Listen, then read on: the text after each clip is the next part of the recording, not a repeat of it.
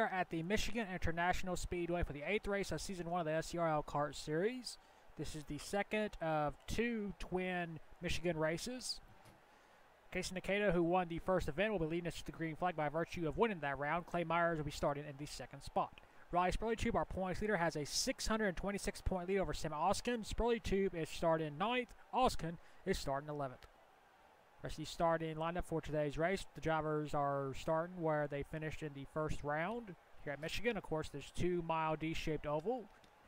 Casey Nakato won the last round in Michigan by way of a last turn, last lap pass on Clay Myers. Nakato is looking to become the first driver to sweep a race weekend.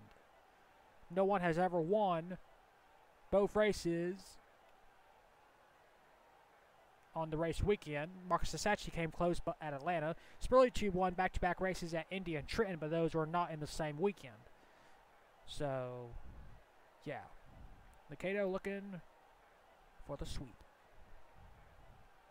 Of course, 20 laps will be the distance for today's race.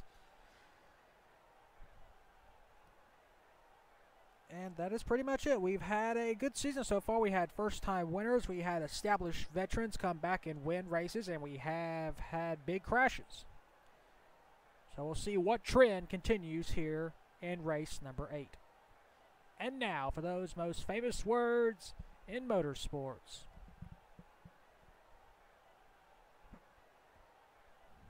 Drivers, start your engines.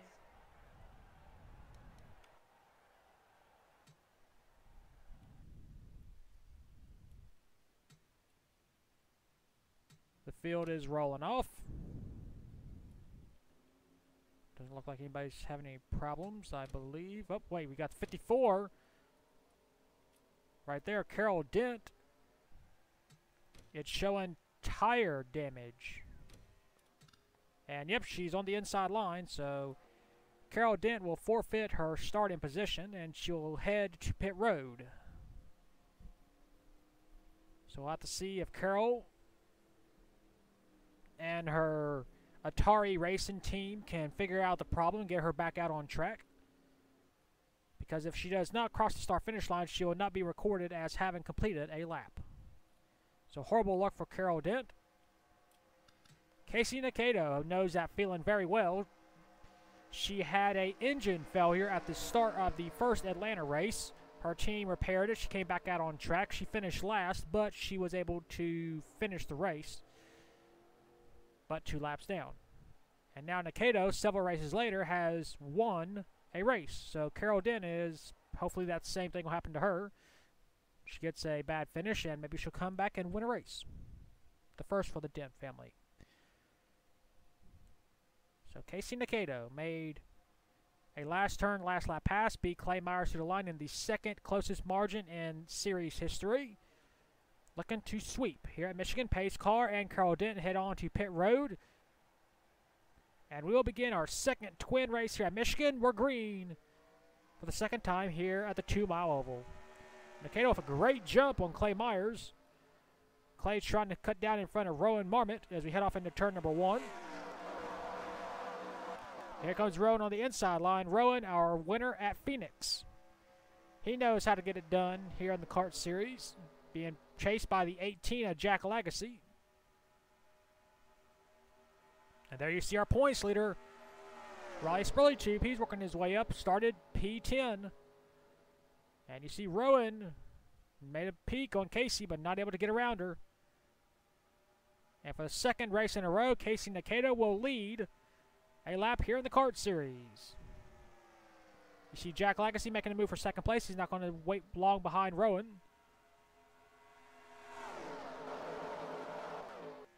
And there you see Carol Dent is back out on track. She is not a lap down, so we'll have to see what happens there.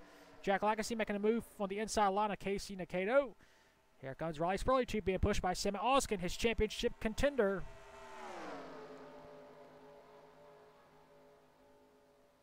Oskin needs to beat Spurley Tube every single race for the next six races in order to have a shot at the championship.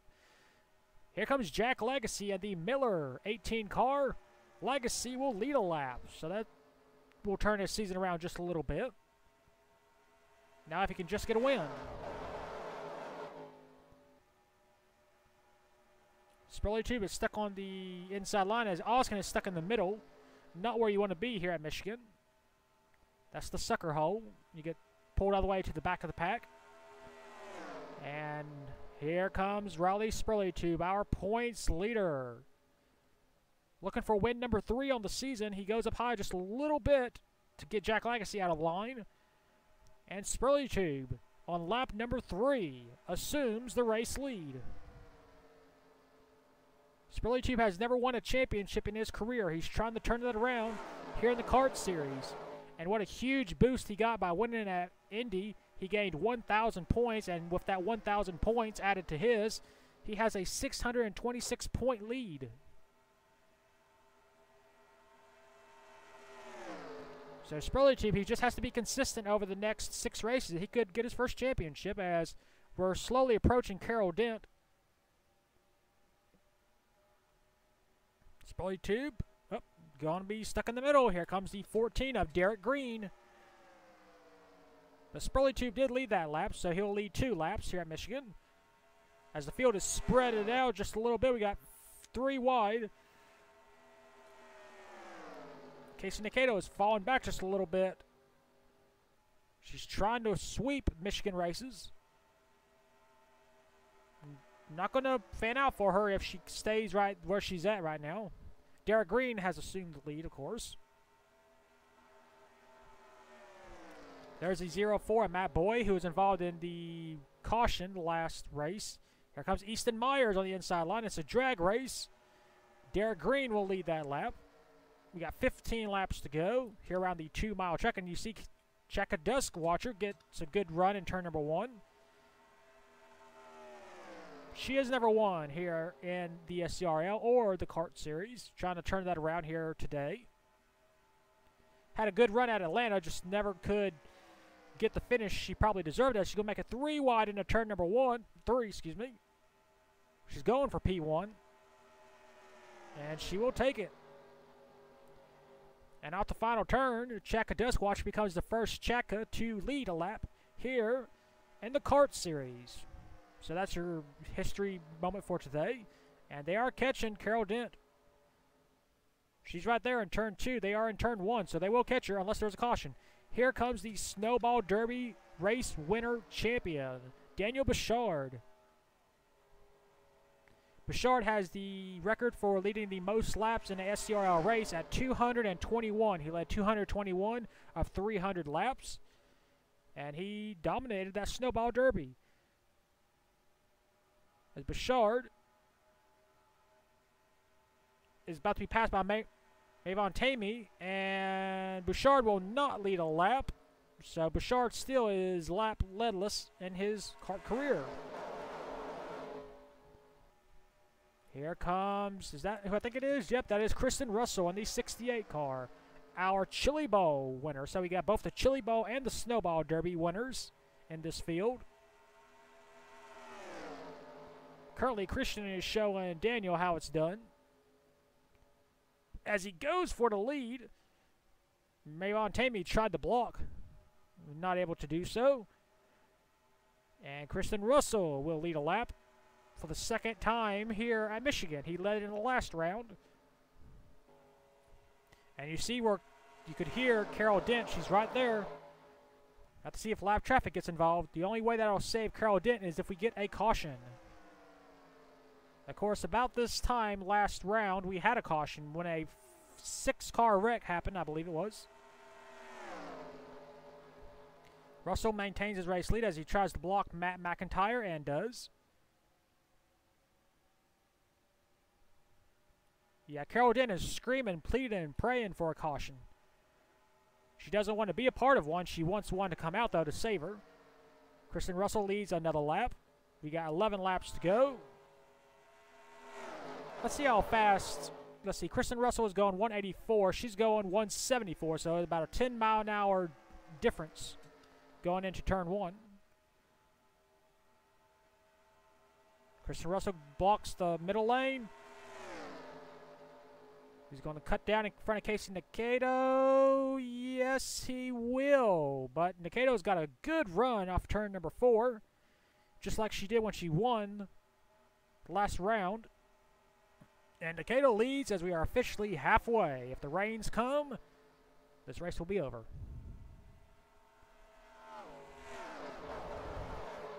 Off into turn one again.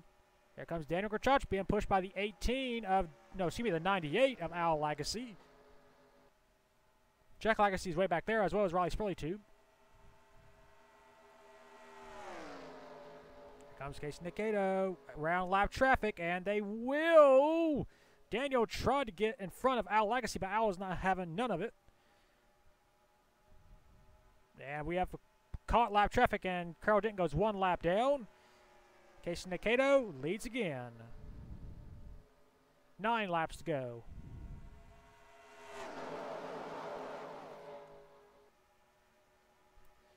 Jack, excuse me, Al, like I said, wants to keep calling him Jack. Al takes the lead. Al is being pushed by the 44 car of Giorgio Tatsuyami. And behind him is, whoa, Sam Oskin second in points, but Oskin is going to lose a lot of ground. He was inside points, but he's going to be falling back a lot, especially with Riley Spurley-Tube trailing the field right now, on the lead lap at least. Al Legacy leads another lap. We got seven laps to go.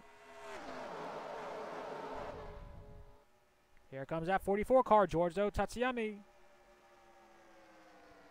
And that Carl's Jr., number 44 entry. And I hope it don't jinx it, but it was this time last race that we had a caution entering turn one and into turn number two. So we'll have to see if that streak continues. Or can we go caution free? We'll see. Here comes the 19 of David Briers. He will not lead that lap. Giorgio will. And yep, it was officially this lap that we had a caution.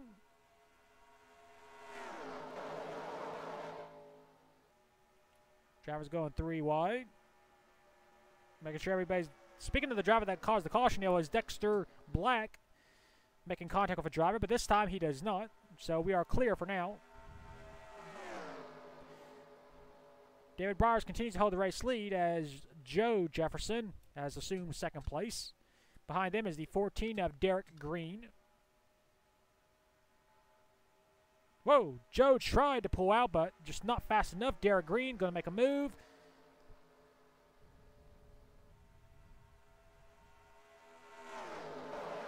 And they're all one big pack of 33 cars all together within one, well, actually within two seconds of each other. Everybody's all grouped together. We got five laps to go this time by. Derek Green is our race leader. He has never won in this series, and here comes Carol Dent trying to get her lap back. So she is playing a factor. She just cost Matt McIntyre, excuse me, Ray Dent, a shot. On the inside line, here comes Ray Dent Jr. So you got the Dent family all together. You got Ray Dent Jr., Ray Dent Sr., and Carol Dent. You got four laps to go this time by. Derek Green continuing to hold the race lead. I see Spurley-Tube on the inside line way back there with Rowan Marmot. So they're trying to work together, try and get up here, but we got four laps to go. Not sure if there's enough time. As Carol Dent goes down to block Ray Dent, Jr. Carol trying to get her lap back.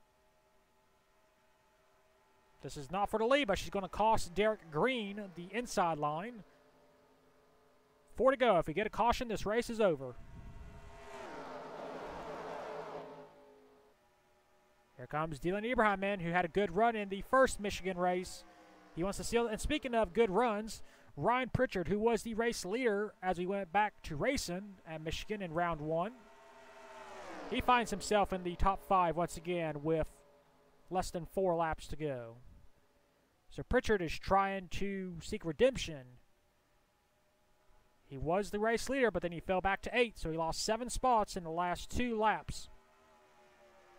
Three laps to go. Dylan Ibrahim is our new race leader. Here comes Ryan Pritchard on the inside line. Can he clear? Nope. Not able to. Dilliam maintains his race lead. In his Mountain Dew entry, two and a half laps to go. Up you see Riley Spurley got stuck on the middle by Daniel Bouchard. Whoa, Spurley Tube not able to get down it. Oh, yes, he does. But an aggressive move by our points leader. Excuse me. Two laps to go. Dilliam on the high side will lead that lap, but here comes Ryan Pritchard on the inside line, being pushed by the 21, 26, excuse me, of Chad Myers.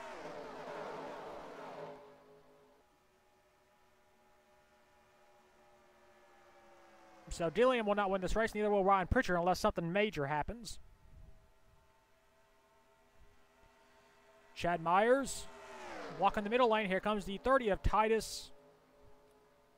No, yeah, the no, sorry, the 21 of Clay Myers, being pushed by the three of Michael Brown, who just won at Trenton. You see Clay Myers going down the block. White flag, one lap to go. Here we go. This is it. It's either checkers or wreckers. Here comes Danny Bouchard on the inside line, our Snowball Derby winner. Getting a push from behind. You see the 21, Clay Myers goes up to block the high lane. Then the middle. And the turn three is going to cut down in front of Dan Bouchard. Nope, not fast enough. Bouchard with a run. Whoops. Off the final turn, is there enough time? I don't believe there will be. And Daniel Bouchard is going to score his first CART win. He wins the second round here at Michigan. And we have, for the second race in a row, a last lap pass.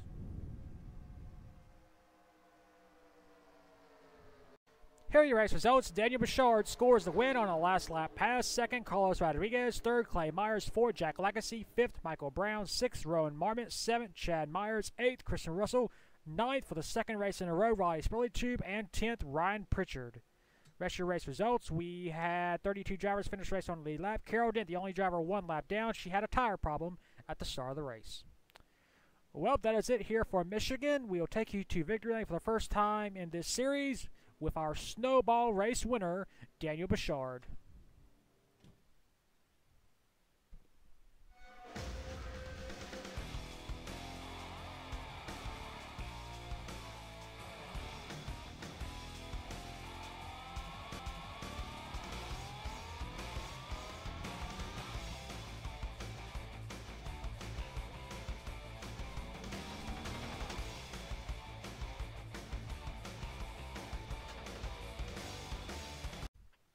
Your point standings after the eighth race of the season at Michigan. Riley Spurley has a 674 point lead over Sammy Oskin. He gained 48 points on Oskin by finishing ninth in back to back races. Third is Clay Myers, 735 points behind. Fourth is Chase Miller, 750 points behind. And fifth is David Briers, 806 points behind.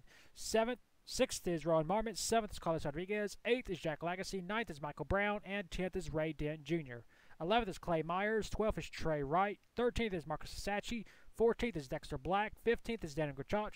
16th is Christian Russell. 17th is Carol Dent. 18th is Titus Marchi. 19th with the win, Daniel Bouchard gained 11 spots. And 20th is Ryan Pritchard. 21st, Dylan Eberheimman. 22nd, Ray Dent. 23rd, Casey Nakato. 24th, Jack Deskwatcher. 25th, Al Legacy. 26th, Derek Green. 27, Matt McIntyre. 28th, Joe Jefferson. 29th, Matt Boy. And 30th is Giorgio Tatsuyami. 31st is Easton Myers. 32nd is Marvon Tamey. 33rd, Jay Jefferson. 34th, Chris Kyle. Last in points is Blazy Batar. That is your point standings after the eighth race of the season at Michigan. We'll next see you for the first road course event of the season at the Watkins Glen International. And until then, keep the hammer down, and we'll see you at the track.